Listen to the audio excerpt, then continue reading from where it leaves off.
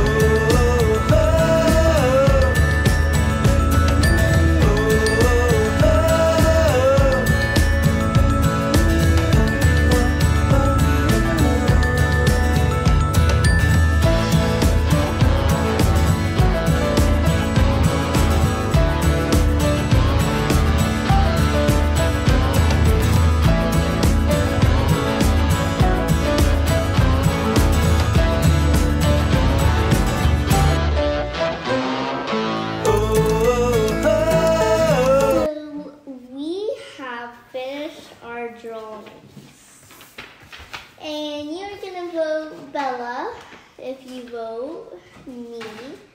So Bella is if you vote me, and then Mel if is if you vote my dad. My dad. So um, it's up to y'all which one y'all choose. We are going to Vote for the best drawing. yes. And don't forget, like and subscribe and turn on notifications. notifications. I'm sorry, was that again? Turn on the what? Like subscribe and turn on notifications. You mean notifications? Yes. Oh, that word, okay. Got it. Got it. Okay. So y'all are gonna comment which picture is the best and yeah. Bye bye, guys. Bye.